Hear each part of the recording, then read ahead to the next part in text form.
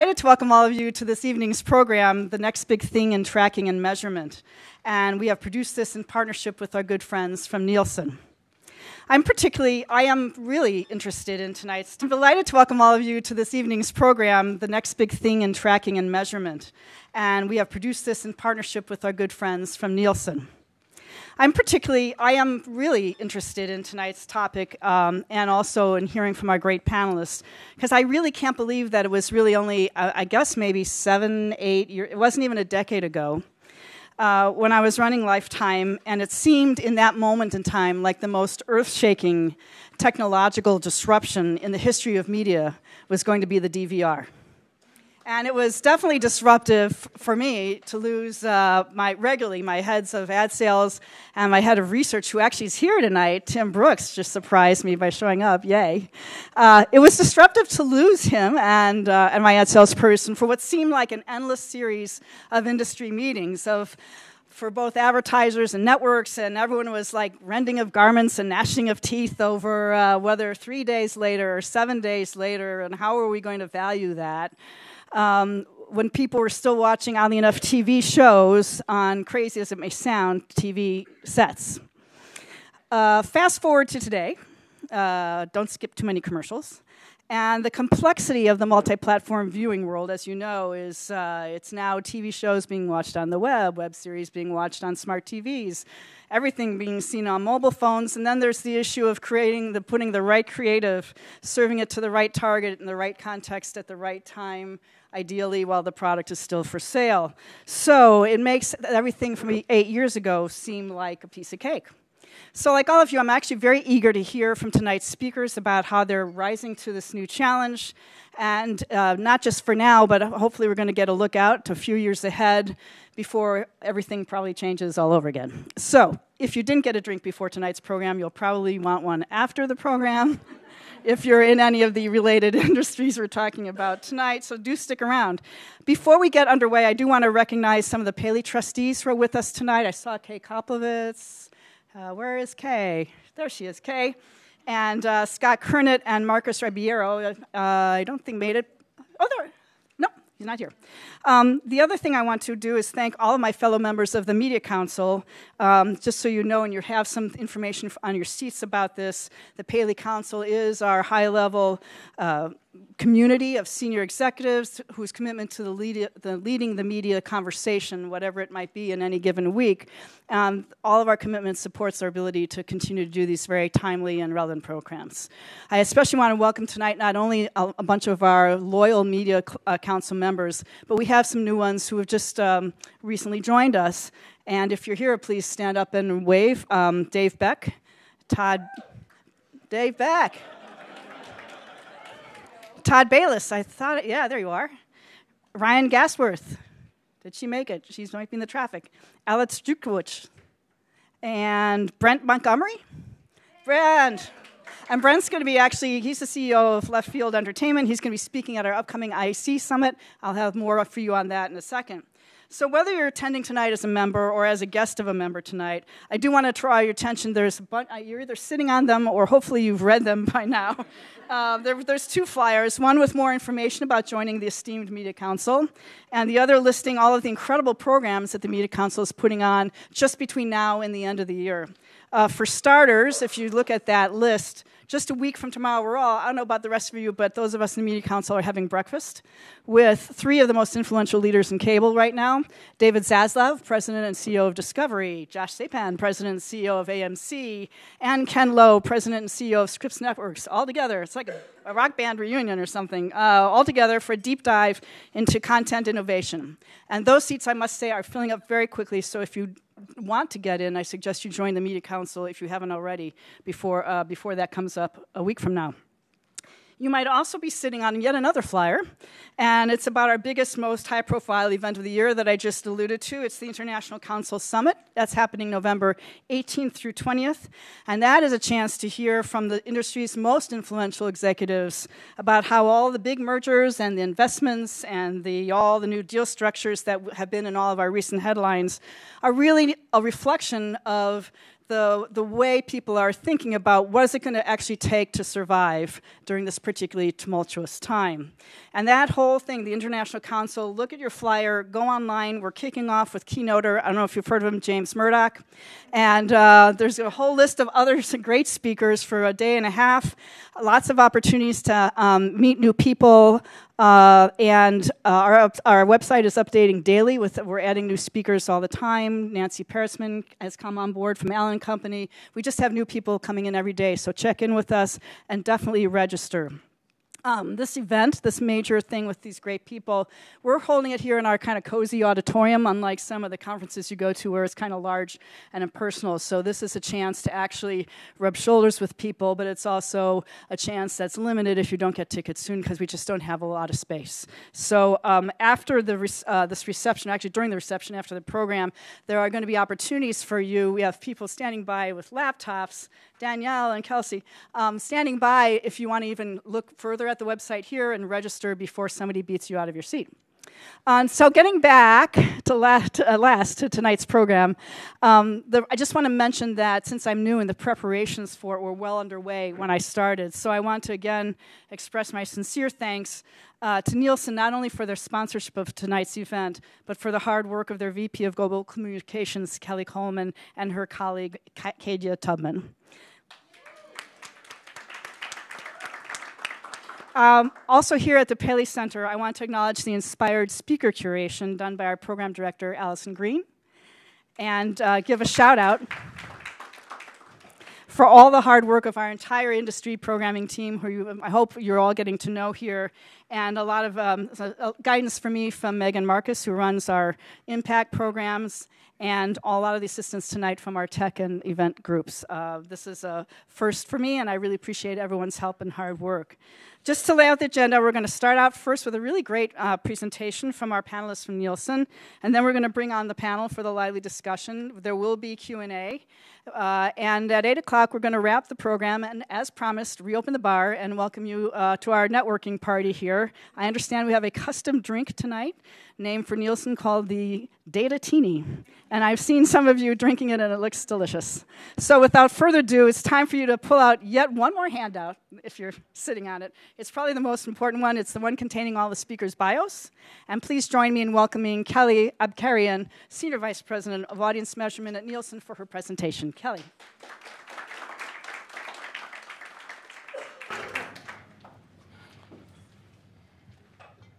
All right, so Mark and I discussed that the goal is to get us all out of here at 8, because in Maddon we trust.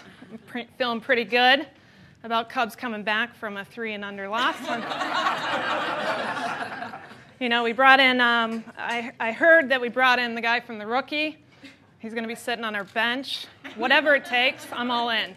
As long as it's not Bartman. No Bartman in the stadium. Um, pleasure to be with you guys today. I'm going to talk about our total audience and where we're going, where we're heading, and give you an inside peek. So, media consumers today have a second job. Almost 64 hours per week are being consumed across media. 35 of those are still on television, 12 on radio. But since 2009, we've seen an explosion of connected devices, video game consoles, digital platforms that are growing the pie, not shrinking it. But since 2006, you know, as Betty put eloquently, people went to mad scramble when the DVR came out. No one envisioned that, you know, a short five, eight years later, they'd be mad scrambling again around the metrics that everyone was using to underpin transaction of $70 billion. What many people fail to understand is that C3, C7 was meant to capture that time shifted viewing. The buyers came to the table and said, okay, we want to count live and we want to count the commercial spots. And the seller said, doesn't work. We want to count live and time shifted viewing, and we don't want to be measured against the commercial spots. We want to look at a program rating. Out came the average commercial minute as a part of the agreement. The problem is, it never envisioned the whole world of TV everywhere, the whole world of connected devices, and the aspect of addressability um, and the way in which you can reach consumers in a targeted way. None of that counts in the ratings today. So that's why Nielsen made a call to action to basically look at how to measure that consumer across all devices, regardless of ad load, and to basically evolve the currency. So there's no doubt that viewing is changing. For those of you who read our total audience report, we've been reporting that live viewing is on a decline. That's live TV. That's not time shifted. That's not all television viewing. That's live. But when you actually kind of look at it overall, it's relatively flat video consumption. And when you go to the right hand side of the chart and explode that, the growth is coming from connected devices and these digital platforms. And what's interesting is that television is still very relevant. Many people say the young people have abandoned it, they're no longer using it, but seven out of 10 minutes in the younger demographics is still happening on a big screen. So if we look at a only only both study that we did, really looking at um, over a four-week period on an average day, when someone turns on their television, do they also use a connected device? What you'll find is that we've seen that grow from 26% last year to 29%. And then when you look at when someone uses a connected device and doesn't turn on a television set, what's that growth? That's a 2 to 3% growth though small, is endemic of some of the consumption behaviors that are occurring. What's interesting is drill down another um, level down and looking at the breakdown by age demographic. What you'll find is 40% for 2 through 34 are connecting, uh, using a connected device when they turn on a television set. 13 to 14% of 2 through 34 are using a connected device only. And we'd be amiss not to look at kind of the impact that these SVOD services have had. When you look at SVOD households, it is almost two hours a day that people are using these connected devices in which to consume content. Three times as many as even a house with broadband but not subscribing to the SVOD services, and uh, households that have no broadband connection at all. It's no doubt these changes are significant, and it's something that we need to help the industry as a whole measure.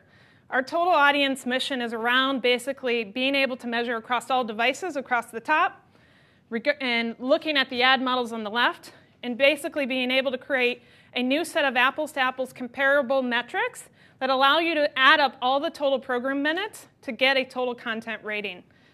And then on the ad side, being able to measure a campaign across the ads, regardless of whether it was a linear ad or a dynamic ad. This is early insights actually um, into the le- release that we will be releasing for Total Audience at the end of the year. This is real data from a September broadcast at an episode level over 35 days. Nielsen's always been able to measure past seven days. We just don't report it in the ratings. So the goal here is we're going to take all viewing across live, DVR, VOD, and digital and stack it up so that people can understand the composition of where their audiences are going by a program and or by an episode. What's interesting here is you'll see that when you look at this particular um, uh, drama, uh, sees a lot of differences between younger demographics versus older demographics. The younger demographics choosing non-traditional means in which to consume that content. The older demographics still leaning into live television and actually, you know, the telecast of when it premiered. So let's total it up together. It's about adding up that audience and then really creating a true deduplication model to understand the incremental reach that advertisers are getting and sellers are being able to achieve in these other platforms. There's a lot of discussion, I'm certain you'll hear in the panel even tonight, about programmatic and how does that come into play. And you know, the myth around Nielsen doesn't do anything beyond age gender we actually do measure in our television panel over 100 characteristics that we collect, and many of our clients use those characteristics today in which to position and sell those audiences. At the end of the day, the way in which branded advertising has been transacted on is on an age gender. But there are conversations happening all the time about how the types of audiences our clients bring to the table are valuable to an advertiser. So, as you think about programmatic and you think about the segmentation and the digitization of media and how you can basically bring bigger data sets together in a cross media way, there's still a real need in which to measure those segmentations because at the end of the day, the advertisers are not trying to reach devices, they're trying to reach people. And if you can't understand the measurement of who you've reached, then you can't understand how effective that advertising was, which is really the ultimate goal. So, with that, I think I'm going to turn it over to Betty.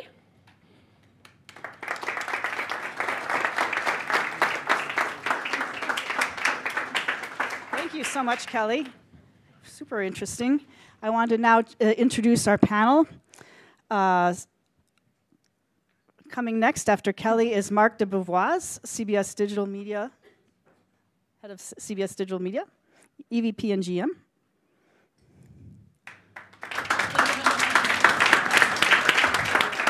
We also have Jeff Green, President and CEO of the Trade Desk.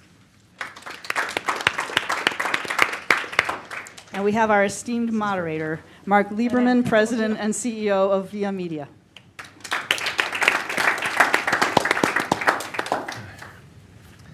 It's okay for me to move the chair a little bit? Yeah, just don't fall off the stage. Did a good job. Uh, thank you, Betty. I'm not sure about the esteemed part, but hopefully you all have had a little bit to drink, so everyone up here is esteemed. Um, so hopefully we'll have a, uh, a, a fun panel here. Uh, I guess what's interesting based upon the response of people being here and the subject matter is who would have thought that measurement would have been uh, considered sexy and attractive. Um, so we, are here to talk about measurement, but me measurement really is, um, from my standpoint, in some ways is looking in the rearview mirror or how you did. Uh, what you really want is you want to be able to use the measurement, the data, in order to plan media, place media, and as Kelly and Betty have said, get in front of the right audience, because that's what it's really all about. That's what digital has taught us. So we're going to have hopefully a spirited uh, conversation here. If we're agreeing too much, I'll throw out some zingers and get people to, uh, to disagree without putting anybody on, on the spot. And we'll have a series of questions that I'll, I'll ask to get things started. We may have in the middle a, a lightning round where I'll throw out a one word question and ask each one of the panelists to give a one word or no more than a one sentence answer. Um, so to spice it up. and, if, and if each of you want, we have Q&A at the end, but if you actually have questions during the course in order to make this as interactive as possible, then please raise your hand. We have people with mics around and, and they'll come and we don't necessarily have to leave Q&A un, until the end. And, and what is fascinating is, is that one slide that Kelly put up here, which talks about how TV is being consumed. And, and what is television? Is television um, that set, as Betty said, that's in your living room, or, or is TV the program that you can watch on any piece of glass? And that one slide that showed that live TV um, for P18, um, uh, older than 18, is 45%, only 45%. And then you've got 32% that are watching um, through the DVR in the first seven days, uh, 2% watching from eight days to 35, 7% watching TV programming through VOD, 6% through a connected TV device, a different piece of glass, and 6, 8% watching digitally. So the challenge to actually measure all that, the effectiveness, um, is become much more challenging. Um, so the question becomes, how do you use that measurement? You think, you think about an industry like the financial services industry, where 30, 40 years ago in the financial services industry, if you wanted to sell a bond, I'm not talking about media now, we're talking about stocks and bonds. If you want to sell a bond, you had to have a rating from S&P or Moody's. Um, and that priced the bond as well as allowed you to buy and sell the bond. Today, when you sell the bond or buy the bond, you still need your ratings from S&P or Moody's, but the Wall Street houses are actually using all of the data in order to figure out what the prices should be, how they should do allocations, and they still need the check mark from the rating services. So what happens now in the future in media? Does it become more like Wall Street, where you're always going to need your rating from, from a Nielsen, which is the currency, and, and we'll get back to who they're challenged by, um, or is it really just that checkbox in which you're really going to use the data from the companies that are aggregating all that viewing data, that purchase data, that demographic data, that psychographic data, that's going to aggregate all that to actually set pricing, determine allocations, and then you need the checkbox um, from the ratings companies.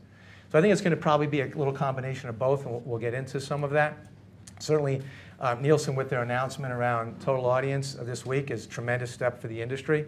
I think last week's announcement, I think it was last week, of ComScore and Rentrak coming together um, will probably give Nielsen a little bit of a run for their money. I think that's good for all the rest of us in the buying and selling community because it'll mean that Nielsen will only get better and that ComScore and Rentrak will have some sort of an alternative solution. I think the announcement today in the Wall Street Journal, or not announcement, but the story about Comcast actually being the largest owner of set-top box data and viewing data and looking to sell that. Are they looking to sell that as a rating service? Maybe, probably not. Are they looking to use that as a way to plan media? Uh, probably yes. Um, so all these things, again, are moving quickly as, as the industry tries to figure out how to both measure and use the data for better media planning. So uh, what I'd like to also point out before getting to the questions is I don't know if anybody has read uh, Michael Wolff's book that television is the new television. Um, and I, I, highly recommend it. Michael's always a fun, a fun read. But there was one um, story that he talks about in the beginning of the book where there was a bunch of old media players, um, I will call us, some of us old media players, uh, traditional media players, and new media players. And um, it was out in Hollywood. It was, I think, at um, either CAA's office or one of the agency's office, William Morris's office. And, um, and it really was very contentious. And one of the new media players said that it's a zero-sum game. We're going to win in digital, and you in traditional media are going to lose. And, and that was back in 2007 when that story took place. I think it's changed. I think it's changed dramatically where now people are collaborating across lines. And just as an example of that, we at Viamedia, we run the ad advertising for 60 different cable companies, and we have 300 local sellers in the market. We use both Rentrak on set-top box data and Nielsen as a tool to sell. So an example of at least how we're using both of that, um, number one. And so that's with Nielsen. Number two is that we have a division called Place Media, which is in the programmatic space, uh, which is focused on television, and we're a supply-side platform. We have a partnership with the Trade Desk, which is one of the leading digital programmatic players, to try and bring it together so that buyers can now buy cross-media. Um, and then historically, I've had a great relationship. My prior company, uh, TRA, which was bought by TiVo, has had a phenomenal historic relationship with CBS and David Poltrack, and we'll, so we'll hear from Mark. So as an example of all of this coming together in a way that perhaps people several years ago saw it as a zero-sum game, I don't see it as that. I see it as an opportunity for us to work together. So with that, when we go to the panel, and what I'd love to do is for um, each one of you, uh, we've already heard from Kelly, so perhaps we'll hear from, from Mark and from Jeff, is to talk a little bit about what your company does um, and how you fit into the ecosystem, and then we can get into some of the questions. So Mark, why don't we start with you? Everybody know what CBS does? I Not anymore. At the Paley Center, I hope.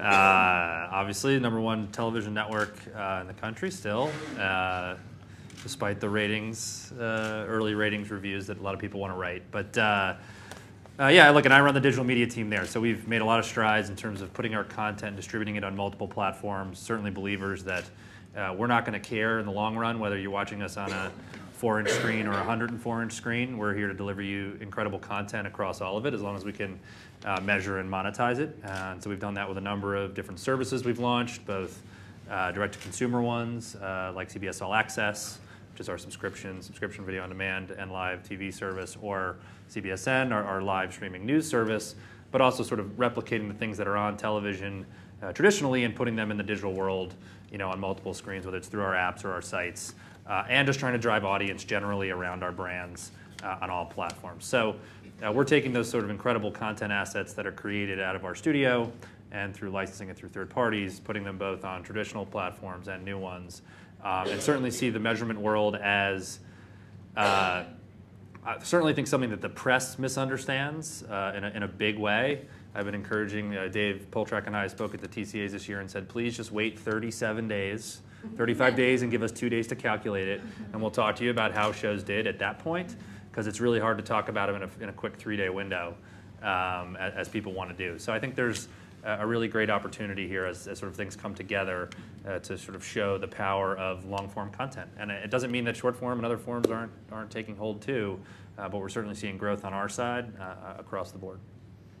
So uh, I'm Jeff Green, the CEO and founder of the Trade Desk. We are a DSP, which uh, for some of you in the room, you may not know what that means. It's a demand side platform that focuses on helping mostly agencies buy programmatic media.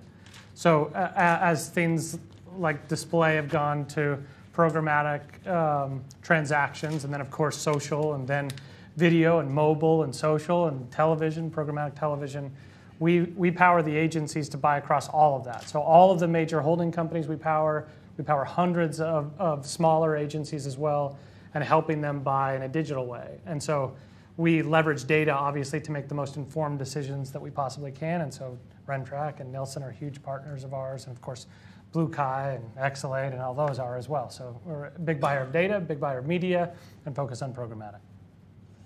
And um, Kelly, I, if you want to say something beyond just total audience, um, you know, in terms of uh, what you do inside of, of Nielsen, your, your role. Adding it all together, honestly. I'm heavily focused on getting the total content ratings product to market, working with our clients to ensure we're doing that in the high quality way that they expect and can rely on. And um, that's my day to day job. okay. So why don't we kick it off with some, some questions. So um, here, here's the question. In a media world that is growing, um, groping slowly towards the convergence of digital and linear video, which way will data metrics calculations flow? Will digital audience measurement look more like linear, or linear more like digital, or is there a meet me in the middle metric in our future?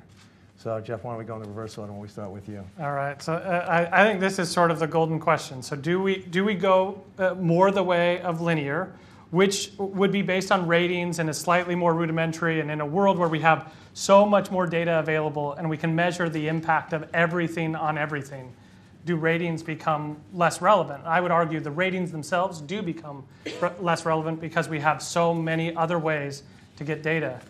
But then there is this thing that I think television has done so much better than digital, which is that you've gravitated around a gold standard, and for the most part, Nielsen has been that. And so, to your point, I really like the analogy of, uh, of the S&P and Moody's and the rating system in bonds and, and, and stocks. Um, is there a role for, for a gold standard? And, and I do think that television has benefited from that tremendously. It is hard when you get into a world where data is more fragmented and more there's more supply of data than there's ever been, do we still gravitate towards a gold standard? And so I do think there's a possibility, and I think this is actually where we end, which is where both exist, where we use the data from everything else. Uh, uh, we use that gold standard to validate the data that we have, but it becomes directional in the way that it always has been, and not the source, the only source of data, because it, I believe it will be impossible for any one company to provide all the data because there's just so much data in the world data is growing like this as media is growing like this, and media is, by itself is already massive. So. I'd throw out that I think we've already met. I don't know if we're in the middle, but we've we've met mm-hmm. somewhere, right? The, I think Nielsen's done a great job in terms of getting uh, devices onto uh, at least gender and age measurement, so that we can transact, uh, giving people some form of audience targeting on most platforms. I mean, some platforms like OTT or connected device, we're still sitting there selling persons 2 plus inventory, although some of the announcements that uh, Nielsen and Roku and us have been a part of earlier have sort of talked about how we're going to get there this year in terms of having that measurement. So I think you're going to have this sort of panel-based measurement that hits the sort of broad uh, live television universe and sort of some of the time shifting there. And then I think you're going to have some, you know, as you said, stricter census data, things that we can actually uh, measure one to one that we can then add into the mix to be able to sell something. And then uh, what we've done a bad job of, bad job of in the digital industry, which I hope we get better at, is simplifying that down so people can understand how to buy it. Right? We've got 50 different ways to deliver the ads, and you know, VAST tags and not VAST tags, and this and those pieces, and it just creates complications across the platforms that we, we don't need. We need simple ways for people to reach those audiences and buy them. Uh, actually, think of it also as a unique opportunity for a buyer. If you are a smart buyer, you can get some really good deals out there by because of the differences in those measures. If you kind of have a sense for where your audiences are from your own modeling, you can probably sort of cherry pick the things that are going to make uh, the most benefit for you. So I, I, think we've sort of met. I don't know if we're in the middle yet, but I think it's still moving along. And I actually think the more interesting part is not what data can do for measurement after the fact, but what you talked about a little bit before, Mark, which is telling us who the audience is before we deliver the ad, because then we can actually be better at it. So one of the things we did is, is force a lot of our sites and our products to be registration focused. Think about CBS All Access, where we take a subscriber. We know that person, that household, where they are, the devices they're watching on, their age, their gender, all those pieces. And we're not using it in some sort of evil, nefarious way. We're using it to deliver them better advertising and more on target advertising. Yes, it helps our business, but it also helps them as well. So, you know, we're, we're excited about what those pre-planning tools can be rather than just sort of measuring it on the back end and telling an advertiser they got what they paid for. Kelly? I, you know, I think it's about the metrics, the metrics that television has uh, transacted upon, and then digital is trying to come to the table with that same metric, but when you actually get under the hood of it, those metrics are not truly comparable. You know, a great example is um, there's very simple examples that are easy comparability, like time spent, but then when you get into frequency and GRP and reach metrics, you know, uh, digital says that total video starts is how you calculate a GRP and how you back into frequency. Where television, it's about you know the frequency of that unique viewer in that given minute. And so part of the challenge we've been working with our clients on for total content ratings is to really bring uh, you know, apples to apples across that. And what I mean by that is uh, we are introducing a new metric um, into total content ratings that will take the concept of digital starts and put television on that playing field. There are other instances where we'll take digi- television metrics every time we can and bring it to digital, but there's real challenges in being able to bring that same granularity you can do on television. So I'll just really quickly give an example. On television today, if I watched a show live and then you know um, paused it and picked it up on my DVR the next day, it counts as one, and one against the GRP. Um, with the total video start um, concept, it will actually count as two because just like in digital today, if I start it and then resume it, they're counting as two. And so the numbers get very bloated um, depending on the digital players that are putting the metrics together and the way in which they say that they're reaching these audiences. And really, when you actually would take the way digital is calculating it, bring it to the television world, television reach would be so much greater um, than today it's stated. So we're working very, very hard to bring um, the metrics together across the board because that's the biggest challenge right now.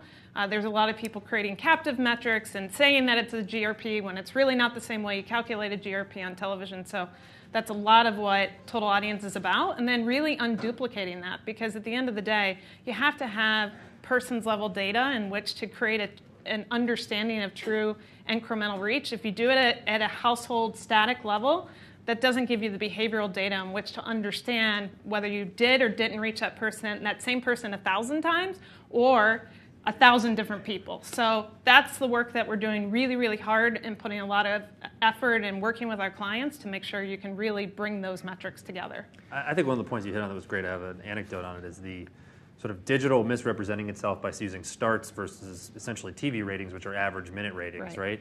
right? I, had a, a, company that runs a newsletter come and say I have X, you know, I have a million opens, right, yeah. every day. I'm as big as some of the cable networks, you know, and I'm like, for one minute a day, you're as big as people who have an average million person audience yeah. across an entire day. I think the impression load might be slightly different, right? yeah. It's not a million impressions, they've got billions of impressions to transact on.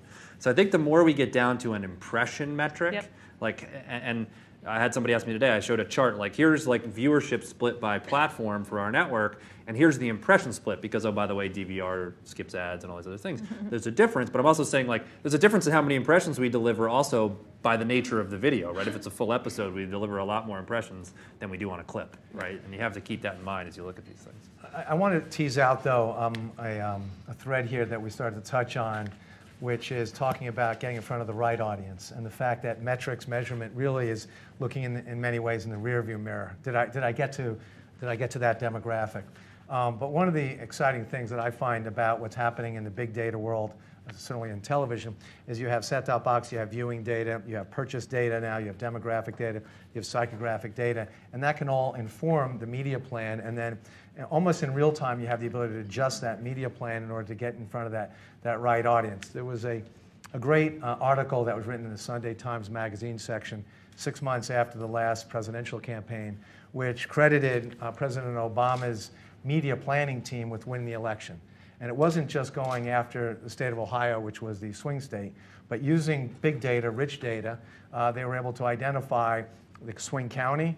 They were able to identify the swing network, the swing programs, and that's where they were able to put their advertising dollars, and they got rid of a huge amount of waste, and they were able to target that mythical swing voters, swing voter.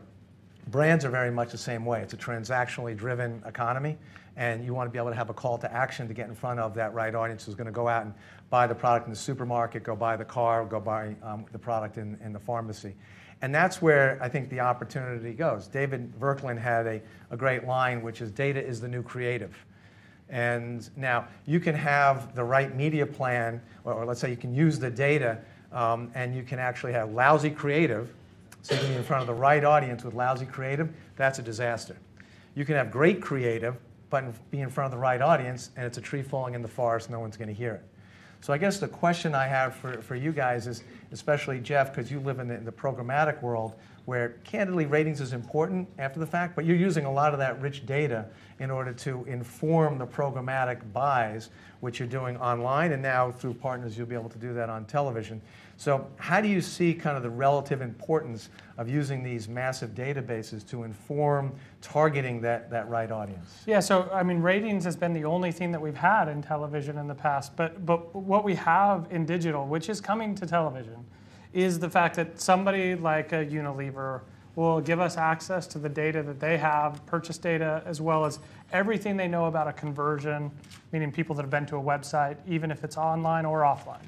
And then what we can do is we can look a look-alike model against massive data sets, whether it's from a Nielsen or an eXelate or a BlueKai or even their own first-party data, anything. Uh, and then you can target those users. So to be concrete about it, I mean, we represent multiple political agencies on both sides of the aisle. If they want to share a specific message with a gun owner in Ohio versus a retired person in Florida, they can do that across all different channels. And so when you, when you compare that to what we've done historically with age, gender, income type data and, and ratings, just the targeting is just so far beyond what we've ever been able to do in the past. That, that, that's the future of television. And digital, the digital versus traditional, I just, I, I hate that, that sort of uh, positioning because I think it's all coming together. Everything will be digital and, and, and content is, is always going to be king and whether or not it's linear or not, I think we should care less about that and more about great content, making sure we target well. So I, I, better targeting is just as important, if not more important, than the reporting and metrics. And, and, Mark, you're kind of living this dream because you've got traditional programming, but it's, it's, being distributed digitally on different pieces of glass, as you said, whether it's a small piece of glass or it's a big piece of glass. So, how do you think about this? Yeah, look, I, I think we're very excited about the data driven future, right? Because we happen to be a television company that is data rich. We bought a large internet company almost a decade ago in CNET and all the brands that came along with that, which is about you know 20 or so brands in different spaces. Uh, like tech and games and, and, other areas, but we also have a large digital audience across our network brands, CBS News, uh, Sports, and Entertainment. So about 140 million people on a monthly basis domestically, 300 million globally are visiting our sites. 100 million of those are registered, so we have their data. So we are a data rich television company that we think the future is really bright about how we can use that data to target people both on TV, off TV, and pass that stuff uh, back and forth. So I, I think we're, we're excited about how that works. And as you said, most importantly, the pre, right? I mean, it's nice to have the post, but that sort of pre and how we target those users and do the right things with them, I think is going to be interesting. And, and we also think of it as sort of high touch data and how we, we as having a large and world class direct sales force and how we're able to leverage that data to be really smart with it for clients. Because data for data's sake, you know, I think companies will get smarter than this, but I use these two examples. Um, one is I could show you an amazing demographic site. It's, you know, perfect 18 to 49 demos, 70%, slightly female skewing. You can get everything you want out of that site. It's a site we own. It's called CrimeSider, and it's all about dead people, right? I mean, it's about murders and horrible things. And we don't sell a whole ton you, of advertising. You live on that site. Yeah, exactly. no pun intended. We don't sell a lot of advertising against that site on purpose, right? We know what that site does. There's some, and there are certain advertisers that can run there, but it's not something we're like literally targeting, you know, like kids' toys towards. And we know how to handle that site. But I, I have some examples from YouTube, which I think you know Google is a great company and they'll get smarter about this. But you know, where you see, we have these three great examples. One is a cruise ship sinking and it's an ad to buy a cruise on YouTube. Or it's a Bear Grylls killing a bunny and it's the ad for the Universal movie Hop, you know, with a little kid's bunny movie. Or a little baby playing with a dog and it's an ad for pet euthanasia. So, I mean, it's like data can be wrong if it's too I mean, you want the automation to work perfectly, but it doesn't always work perfectly. And so you have to find a way to have what we're calling sort of like be data rich, but be high touch with that data and how you use it uh, to leverage for advertisers. The nice part for us is a lot of most of our content, maybe other than Criminal Minds, is usually tame enough uh, to be able to, you know, or Crimesider to be able to handle most types of advertisers. We, sort of we used to say in my prior company is that, because we had a software system using data, is that it's a computer, not a brain. You still need the person that's sitting in front of the computer to kind of give context to it. It'll get better. I mean, Um, too. I think. Kelly, to give a little bit of context for, uh, for, for Nielsen, um, in the article today in the Wall Street Journal, it talked about how it was rumored, you don't have to comment on the rumor, that Nielsen had offered Comcast $100 million was the number in the article for access to its set-top box data. So clearly Nielsen, if the rumor is true, gets the importance of rich big data sets. Uh, but many people will say that notwithstanding, I think you said there's 900 data scientists at, right. at Nielsen, is that the sample sizes in a digital world um, are fairly small as compared to the tens of millions of digital set-top boxes there. So how, how does Nielsen kind of balance out um, some of the, the challenges of the small panel sizes, but when you live in a highly fragmented world where you have to have a statistically significant sample in order to go against some of these micro targets? Sure. Um, so Nielsen, for a long time, has actually believed in panels and big data, but it's not one or the other, it's both. Um, and it's both because big data, everyone thinks measures everything, but it doesn't. There's gaps, there's biases, there's all kinds of things you have to correct for. Um, everyone says that they have the full um, universe. Um, that's not really true. Um, and so our panels are a true set. We call them our true sets in which to be able to use to calibrate big data. Um, I'll give a, great, a couple of great examples. You know, the Facebook partnership, we're on digital since 2010 when we launched digital ad ratings. We recognize that measuring campaigns on a digital platform wasn't going to work through a panel. We could build a panel, um, you know, a couple million strong, and it still would be, you know, challenged on the number of observations that you could get and, this, and the size of the campaign that you could measure. Um, and so we've worked um, in partnership with, you know, Facebook having a huge registration database of 180 million users of high quality. But we don't just take their truth as is, because at the end of the day, they don't measure kids. Under 13 is completely unmeasurable. And they don't always have real people. People create dog accounts, people create cat accounts, people create uh, kids and teenagers, and even some adults lie about their age on Facebook. Right? So we use our panels in which to calibrate that data to come up with a true set um, in which to do that. You know, and then on set-top box, we are working and we have been working to bring set-top box into currency. Um, I'd love to tell you it's as easy as just flipping a switch. Um, at the end of the day, set-top box is not like every provider, every home that they have, every television set is measured. Nielsen measures every set in the home, right? We know every set.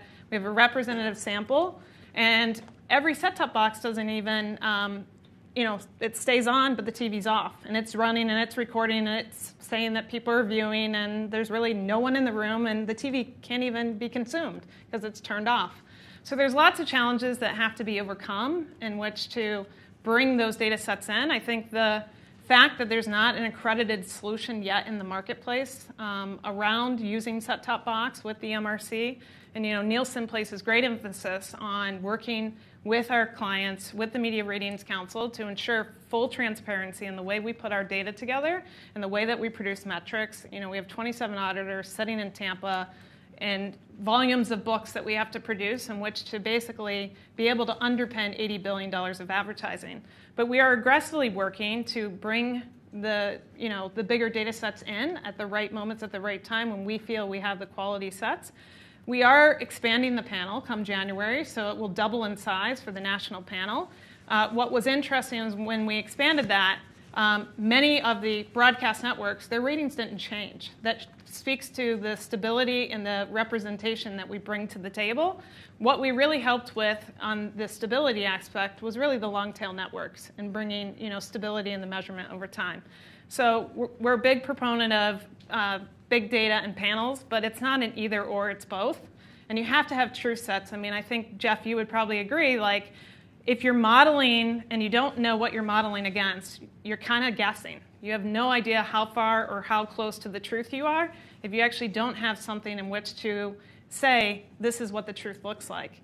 And so Nielsen leverages those um, panel sets in which to help bring you know, um, truth to those big data sets. Yeah. Um, what's great, as I said before, our company uses both Nielsen and Rentrak on the set-top box side. And certainly Nielsen as the currency is absolutely critical for agencies and, and advertisers and, and talking to some and integrating with some of the DSPs that are out there. What the great thing about set-top box is, is and David Poltrack was one of the first supporters of set-top box as a, as a tool, if you will, is that the technology has gotten better and better to be able to, because of the large data sets, to understand uh, what's called false positives which is TV set is off, but the set-top box is on. And so there's a sophistication that you can now be able to infer who's in the room, um, what they potentially are watching. So I think it's getting there, and, and, the ability to use both is important. Let me ask questions. Anybody here from uh, Facebook? No? We talked about Facebook before. Just get a, a quick poll. Um, how many people here, raise your hand, are regular users of Facebook? Mm, so about half. Um, how many people here of the folks that have been on Facebook, or even if you're not a regular user, actually have seen an ad on Facebook as you're scrolling down? Okay, about the same. How many people have actually clicked on that ad? Okay, not oh, intentionally. yeah. About 10%. How many people that clicked on the ad actually ended up buying the product after they clicked on the ad? Okay about, about four out of the 100 people here, or 50 people here. So, I mean, it's actually fascinating. Go around and ask these kind of private surveys as to. That was a pretty um, good click through rate right there. Yeah. Like, yeah. If I could get 10% click through rates, I could yeah. yeah. I, think, I think Facebook's doing good. Exactly. Although someone said, I think Betty said it was by mistake. Um, um, one. Right. So, uh, quick, quick, uh, quick time out here. We're going to do a lightning round. Um, so, in no particular order, um, Mark, the Donald the Donald. Uh, ratings gold.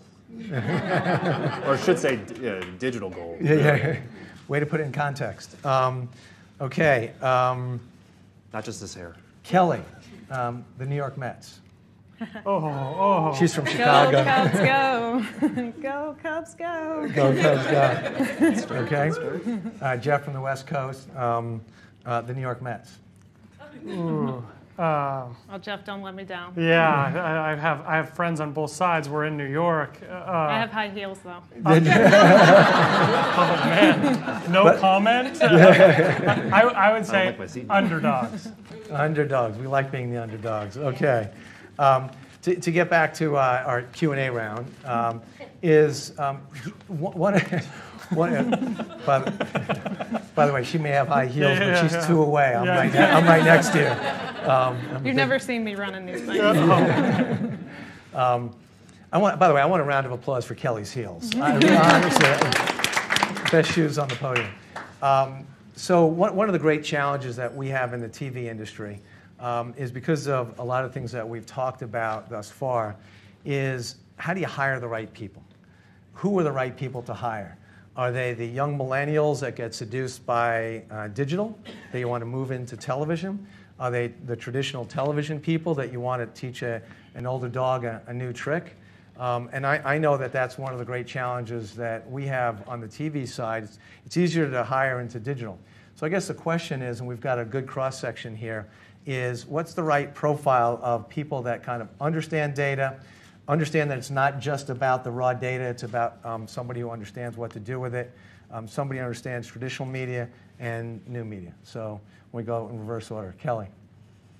I think you got to hire people that understand where the bulk of the advertising transaction is happening today on television. You know, I have a lot of respect um, for the traditional media researchers who have built the advertising business from scratch to what it is today, and I think, you know, people get very um, very uh, aggressive on the digital landscape around how to actually underpin a large advertising market space with the same type of rigor that has been built into the way that you produce and transact on ratings today. I mean, we have 900 data scientists. I was telling um, someone uh, before the panel that there was an article that came out about the number of data scientists between Google and Facebook, and I thought, wow, I think we have a lot more.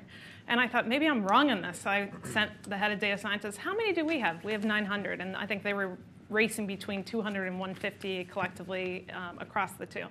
I, you have to have people that understand exactly how to put data together because at the end of the day, I think the challenge we have as an industry is that we are have lots of data, lots of people taking different approaches to it. And you know, I think the viewability is a great example. There was 20 players at one point creating all kinds of confusion in the marketplace, actually not helping the situation on well, do we have a viewability problem or we don't? Because it was like one spectrum was, oh my God, the, wor- the, the world's falling off the cliff. And then on the other spectrum, it was, oh, it doesn't look so bad, just keep on moving.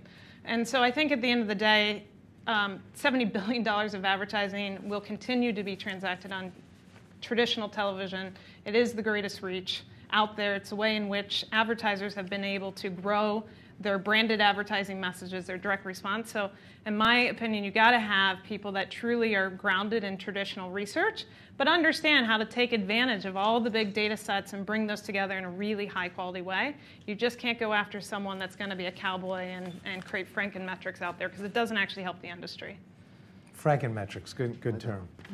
Um, Mark, Yeah, I'd say I'd start, uh, especially on the data and the, and the monetization side. I mean, you got to start with an analytical mind, just someone who enjoys that. So, uh, whether that comes from finance or data, previous data experiences, or wherever that comes from, I think that's the key underpinning that you really need. I, looked, my first job out of college was I was an investment banker for five years, recovering at this point. um, and, and, frankly, uh, you know, I think that's the first, the starting point, and then I think, and it can be, you know, other pieces, other types of jobs, but, um, and I think the second part is really a, a deep understanding of our business, which is getting, uh, you know, giving brands the, the capability to have exposure to people in a context of watching high quality content mm-hmm. that you know that's the business at least the ad side of the business not the not the distribution and paid side so if you can understand that part of the business, whether you grew up in it or not, whether you you know found your way in other ways, doesn't matter to me. It's just about whether we can you know figure that out. I, I joke my head of monetization and operations is sitting right here in the audience, and that's I basically just described his background. Right, he was a mm-hmm. finance guy to start, who actually grew up you know a bunch of years at CBS, and so he definitely understands the level of detail that we have to have, but also the context of how to sell it. Right, how to really make people want to buy into that that concept. So I, I, for the most part, agree with with both of, of them on, on what they've already said. I'd probably put a little bit more on the need to be uh, sort of big data driven or analytical in the sense that there's more and more data that's becoming available, and so you have to have the ability to look at that to put it to work. Uh, um, so it, television buying is going to be more complicated. It is going to be more complicated. There is going to be more data put to work, and it is going to be much harder to measure which underlines like the need to understand this industry, which is changing very, very quickly. So somebody that's able to adapt, somebody that understands data, is not afraid of data. They probably need to have uh, done a little better in statistics than they than they did 20 years ago in order to participate in this this ecosystem. Uh, um, but understanding the, the ecosystem is just as important. And I mean, people talk a lot about data, and I mean, even a company like mine that uh, that talks a lot about programmatic Sometimes people say, hear, hey, you work in programmatic or digital advertising, which was predominantly over the web, and yet you travel 75% of the time. Why in the world would you do that? Uh, uh, the, and the reason why is relationships matter as much as they ever have for the same reason that we've been talking about in terms of metrics, which is the, the currency of trust uh, or the coefficient on trust is going up the, the need to trust each other is greater. So I would be just as uh, uh scrutinizing on uh, uh, your new hires' people skills and their ability to navigate what is often polarizing and all the nuances of data, as well as all the political battles that are going on and the tug of war we've been describing here, is just as important. Yeah, I, I, a quick anecdote. I was with uh, my son and, and his cousin, my nephew, and my son works for an online marketing company that was bought recently by an old Yellow Pages company that's looking to transform themselves. And we were talking about programmatic and, and big data and TV. And what he said is, is you know, uh, data is important, programmatic is important. Maybe you're always going to need lead generation. And it all comes down to that. That's what advertising is about, is try and find that right person to convert them into buying the product. His cousin um, was just interviewed by Goldman Sachs, going down the, the wrong path here into uh, financial services. Not Goldman Sachs, right company, but can be better uh, served than outside the financial services industry. And he was interviewed this past weekend, and they gave one of the, and he's a computer science major, and they were asking the question, which a lot of these companies will ask, and, and your companies probably do this as well, is you're in a room like this, um, tell us how you'd go by and de- uh, develop an algorithm to define how many coffee cups you could fit in this room. And his answer was, Can I ask a question before I give an answer? And he said, Yeah, can you shred the coffee cups? right? And, and, there's, you know, thinking a little bit outside the box and being able to adapt. Um, but I think what's important, and what we say at least uh, in my company, is that television still is the most engaging platform, the best reach. It's sight, sound, and motion. It's, people still like watching programming on the big screen. Um, even though you can watch it on the small screen, they still like watching it. And you have the best of all worlds is you come to work in an industry, in a company where you actually have the ability to see your work on the big screen and see what you're doing, but the best of also digital, which is using analytical skills, thinking outside the box, using data, and doing things in, in a programmatic way. So, but that's what we need. You need to kind of figure out the blend to attract, I think, a lot of those minds um, back into television. Um, you attracted them into television 30, 40 years ago. I think we need to attract them back in now, and that's our great challenge. Um, I, one last question before we go to, uh, to Q&A, which is not something, necessarily something we've touched on, but recently there's been a lot of news around ad blocking and mobile specifically. And, uh, and then TiVo also announced recently, I think it's their Bolt product, the ability, not only, and of course they invented the DVR and the ability to fast forward, which I knew um, some of the folks in the traditional world uh, weren't too happy about 20 years ago. Uh, but now you have the ability, one click, skip right over the ad. Don't even have to fast forward. Just go right, you know, to the next, um, past the pod. Um, so, which is, I guess, a form of, of ad blocking. So, in this kind of spy versus spy, mutually assured destruction world of unleashing ad blocking and then technology to try and overcome that to put in more relevant ads so people don't want to actually skip over the ads. Um, how, how, should we be thinking about that in a television environment? Uh, because you know it's scary to see that 65, uh, 60% almost of people that are not watching live do have the ability in some form to fast forward to uh, not be able to watch the ad, which is a major challenge. So, Mark, why don't we start with, with you? Yeah, uh, I'll start with your, your invention point, which if we could all uninvent the DVR, that would be great. So, so everybody hold hands and close our eyes and pray. You know, but look, that, that definitely wasn't helpful to the industry, but the, the good news is, at least for television, is that the install base is essentially frozen at about 49, 50%. Uh, still skipping, you know, 30 to 50% of the ads, depending on the type of consumer. So uh, we view that as sort of that's happened. And when you compare that to, and that's why we want robust VOD systems, and we love putting content on demand. There's a monetization mechanism there. It's not perfect yet. We don't quite have age and, and, uh, and gender on day four plus dynamic insertion, but hopefully it's coming if the cable companies ever agree to it. Yes. Uh, hopefully soon. but, but, the, but on the digital side, it's actually so much better that the concept of like flipping out over ad blockers is kind of nuts. Uh, first of all, when someone comes to one of our sites or our apps or one of our things with an ad blocker on, we don't serve them the video, right? So it's that simple. And so it's not even warfare. It's just easy. We just take our toys out of the sandbox and walk away. So, and, and, look, we don't get that view, but I don't want that view anyway. You're speaking right? like the Donald now. Right? Just, so listen, CNBC doesn't do it for two hours. I'm not going to. So play. listen, those idiots. Uh, yeah, right. So, so, so the first thing is we don't serve that ad. Second thing is we have some things. You know, we have some companies that we've been working with, and we have engineers on our side that are looking to combat how ad blockers work on video and and uh, you know, every time we do something, they do something else, and it's yeah, going to be this. It's a product set. You know, I have product guys that focus on OTT and product guys that focus on mobile. I have product people that are now focusing on ad blocking, and that's we're going to have to be that way, you know, going forward. Uh, but the great news about the digital landscape is that you know there are you, you, don't have to you know you can skip around in content and only play one ad break you know you can do all these things in the right way in digital so i really don't see that being an issue secondly in, in our applications, so meaning on mobile and on OTT, yeah. there are no ad blockers yet. They haven't figured out how to put them in our app or on our platform. So it really is only affecting desktop web in a meaningful way right now. And by meaningful, I mean a few percentage points. It's not 50% of the viewership or 30% of the viewership like the DVR has done to traditional television. So I think this is a greatly exaggerated problem for long form television content. It may be a different problem for banner ads and display, and we have a lot of those sites as well. And, and so there is, there is challenges there. But Jeff? Yeah, yeah. So uh, he touched on a lot of the key points. DVRs have already done the damage that they're going to do. Ad blockers are a speed bump to us in digital. And because I believe that uh, everything eventually is streaming, that all television eventually goes over the internet, we have so much more control over things there. To his point about the, the, the app, CBS controls that. So they're going to be able to make certain that you can't skip over that.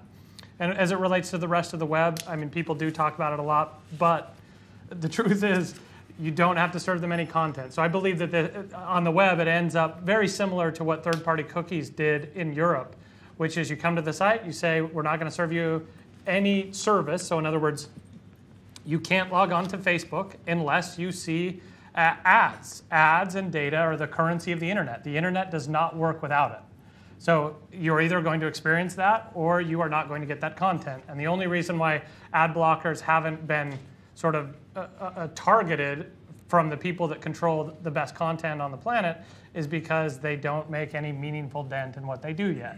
As soon as they get to that place, it will be just like cookies were in Europe. And so they're a speed bump. Kelly, I'm going to use the prerogative of the chair and make sure that we have 15 minutes uh, of Q&A. And you, if you, one of the answers, if you want to work your way the last question, if you want to work your way into that, you can. Um, Q&A for the audience. Um, raise your hand, please. Any, nothing is off limits here. It is being live streamed, so if you ask something embarrassing, you'll be embarrassed because it's live. No, go ahead. And can you say um, who, who you are and what company you're from so we can have some context?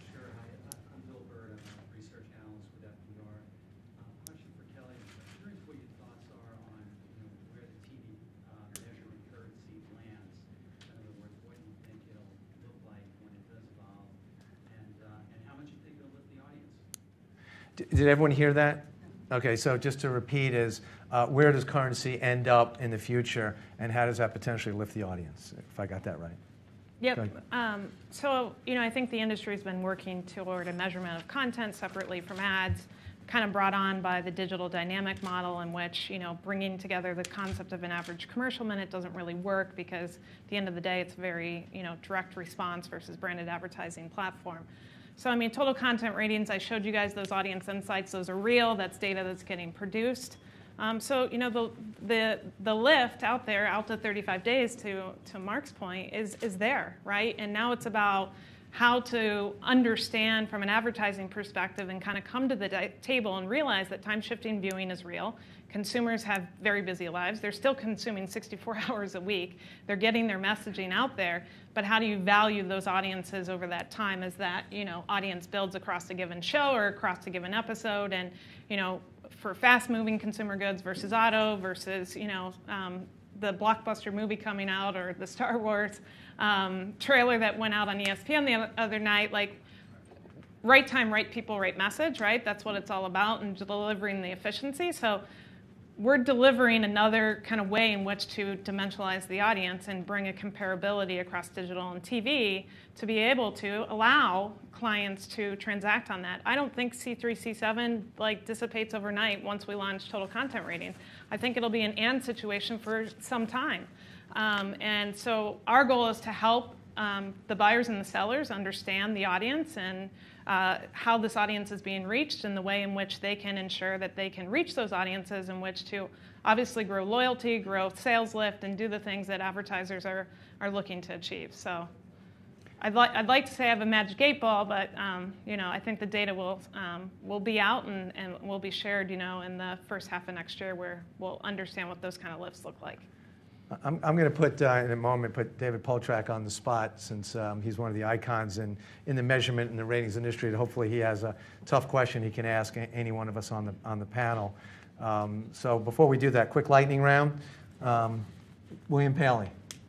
Uh, I was going to say the first king of television because we have the current king of television sits right next door and is our boss. But uh, so I don't want to say that well, well, the king. Well, well said.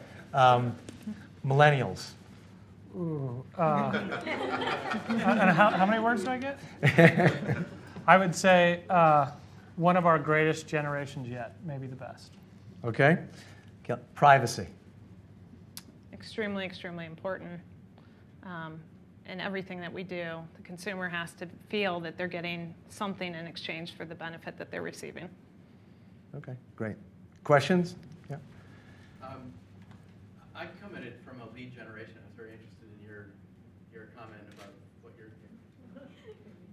Hi, I'm sorry. I'm Your name and, and company, just because we're being live streamed so people know. my name is Keith Reynolds, and I'm managing editor of a publication called Chief Packaging Officer, and I work with a an agency that does lead generation, and we're thinking of the entire lead generation funnel, starting at impressions and working down to uh, the transaction with a salesperson.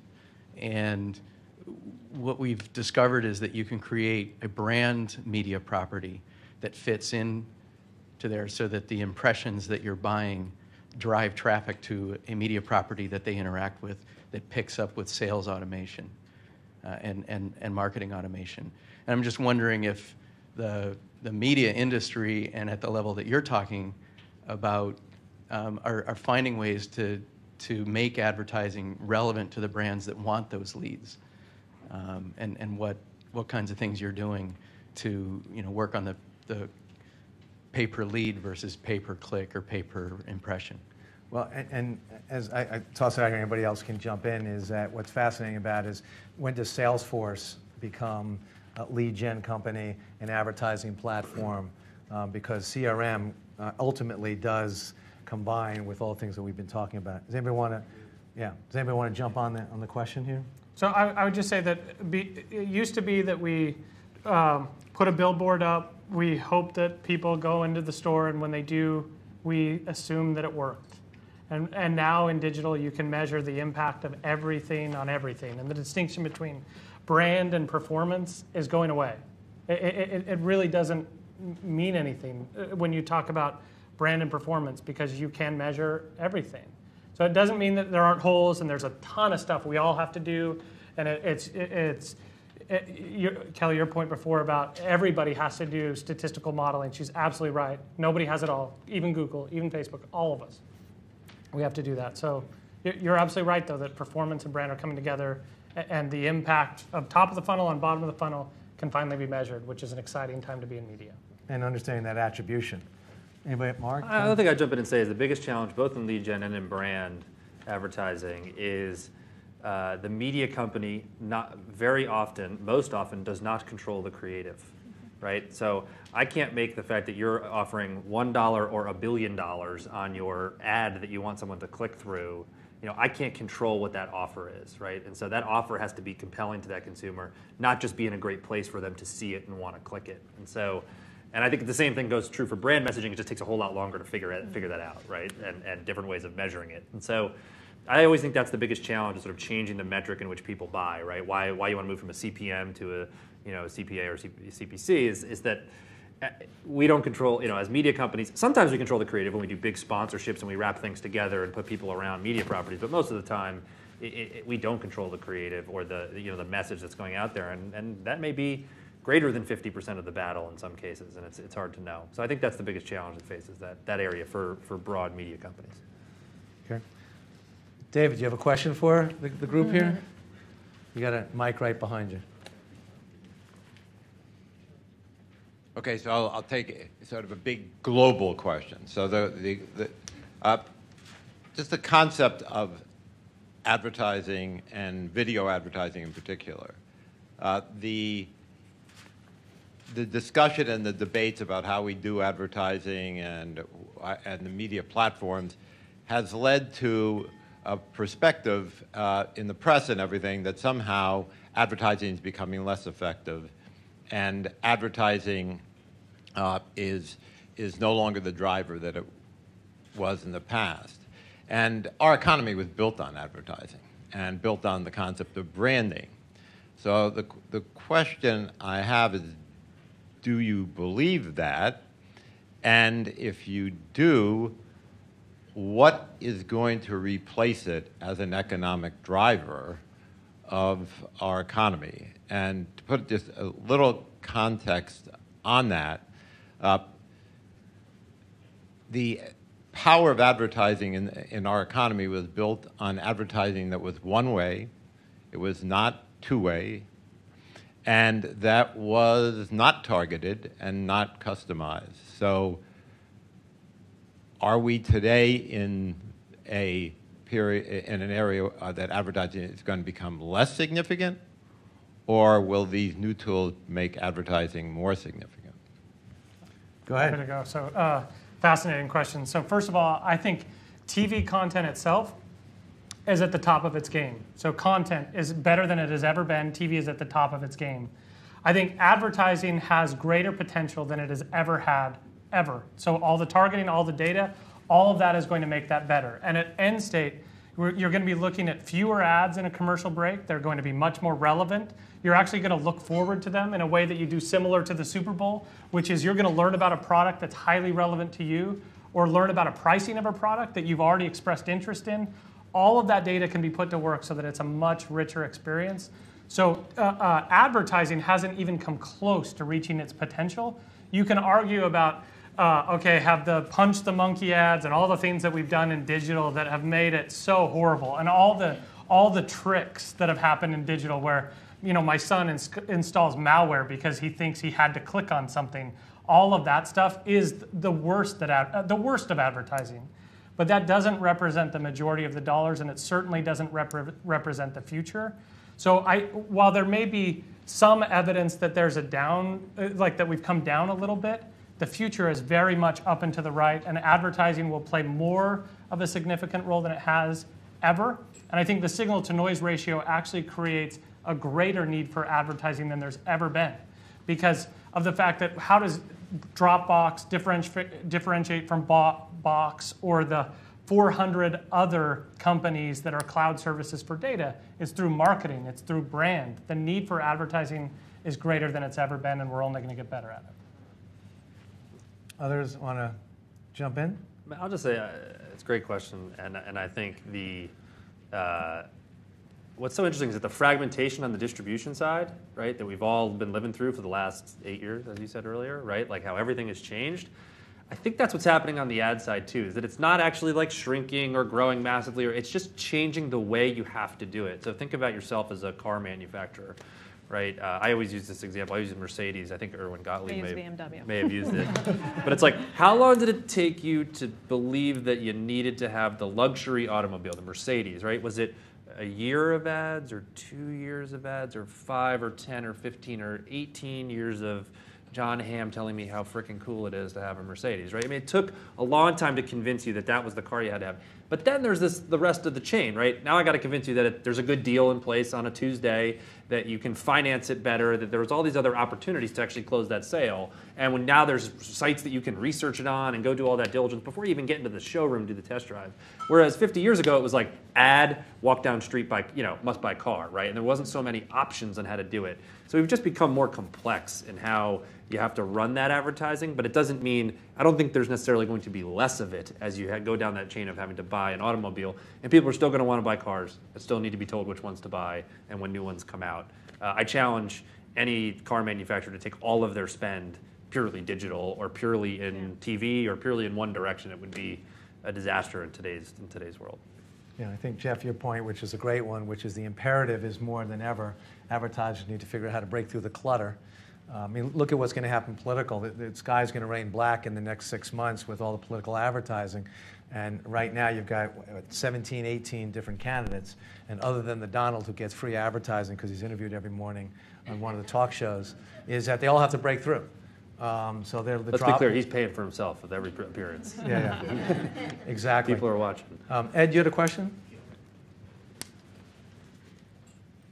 I'm Ed Bleier. I'm the legacy of legacy media. and haven't been paying much attention to day to day ratings. But it seems to me, in the rush for more sophisticated data employment, that some basics have been overlooked. Jeff, if you're right that it's all going to be digital, to what extent is Mark going to lose the advantage of lead in as, as the substance of his audience? Secondly, when you talk about you don't control the creative, to what extent, after all the audience's measurement, the creative director doesn't put up the logo at the end of the commercial? And the people are watching action and they don't know who the advertiser is. Or conversely, you've gone out of the room and the audio is off. How many brands can f- function just on a swoosh? Right. And, and lastly, in the concern Would about repeat the first the question. about commercial blocking. The commercial blocker was the, was the channel changer. And there's never been an analogy made of how many people miss the commercials on good old three network television. I thought you were going to say the bathroom. or getting a snack or walking away. From I, I ran ABC daytime. We knew the daytime, traditional daytime audience at that time was out of the room more than they were in the room. So the necessity for the programs was to talk, not to be visual. That's changed, of course, as audiences are fractionalized. So, uh, if I understand your cor- question correctly, uh, um, uh, what I would say is, uh, how does big data and what I do on the buy side affect what happens at, at CBS? you a little too mesmerized by big data? Uh, um, I, I don't think so, but uh, but you know, I would probably be the last to know, right? So, I could tell you. That is a great, that is a great line. Give me your data, I'll let you know. So uh, but it's not that I have I have any allegiance to any one data set over another, right? So I'm looking at all that, including. I mean, we're I, I, and I, I I don't want to make it seem like I don't value Nielsen's data. They're one of our absolutely biggest data partners. So and that that includes and frankly especially inside of digital and in video. But as it relates to how that affects the content, I still think content is king, as I mentioned before. So I think in a digital world, CBS has more control, not less, uh, because of, of the impact that DVRs and linear has sort of put more of that on the edges or inside the living room instead of in their hands. So I think they have more control, not less. I And think I- that- yeah, I, I jump in on the lead-in point, and, and that point is that in the traditional linear world, we had lead-in, we had full control. You stay on there with no channel changer; it was a dream. Then you got the channel changer, got a little less, got a little shaky. Then you got on demand, and that really exploding. And we've actually already lost that sort of full control of where that person is on the television screen. Then you take what the other networks did, not CBS, and thank God because I wasn't at CBS when they made this decision, but it was a brilliant one, was to not be part of Hulu. The actual other networks joining Hulu has degraded their brand and their lead-in and co-promotional capability massively in the online world, right? We sit there with people coming to our site, our apps, our brand, so I can control what the next thing they see is if they want to watch another thing, right? They watch one show, I can lead them into another. I can promote on my my channel on my apps and my pieces what what they watch next. On Hulu, they're just promoting whatever might be the best algorithmic you know feature for the person who watches Empire. It's probably not something else on Fox, right? It's probably something else. And I think that sort of aggregation, which has happened in cable and has happened online with Hulu and a couple of others, has actually degraded the sort of network brands, uh, which we are trying to maintain because I do think in the future, you know, in the current world and the future world, that curation is going to be key, right? There is going to be so much stuff. There is so much television, so many things to sort through that having that sort of network wrapper is going to make a larger difference in the future than it has maybe in the last 20 years or so or 15. I think prior it had a hu- you know it had a huge anchor in the, in the first sort of 30, 40, 50 years of TV. I think these sort of next 20 it's going to be even bigger. So I think we're, we're at the end here, and just to, uh, to perhaps sum up what, what isn't interesting to your point, Ed. In my in, in my prior company, we worked with national advertisers: Procter Gamble, Pepsi, um, Kraft, and, and others. My current company, we have 10,000 advertising clients, local advertisers. And you go on these ride-alongs with these local advertisers from auto dealers to body shops to QSRs, et cetera. And it's really refreshing because to them, the ROI, that attribution, is people actually coming into their stores. so they know if the advertising is working. And what they really want is they want a blend. And they want TV, they want digital, and they want mobile. And so you come up with a package, and so they're thinking about how do they engage in order to, uh, maybe TV is building the brand, it's getting that exposure, you give them a targeted ad online, and then a call to action with mobile. And so that's where the industry is going. What I would encourage everybody is take a look at what Google Fiber is doing in Kansas City. Um, it's an IPTV world, it's television, and they're charging on a cost per view basis. And, and that really is where the industry is coming together. It's a digital model, but with traditional 15s and 30s being actually put in, in television. So with that, I'd love to give a round of applause to the great panel.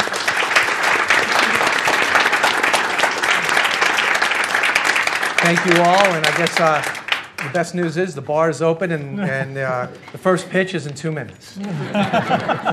So next.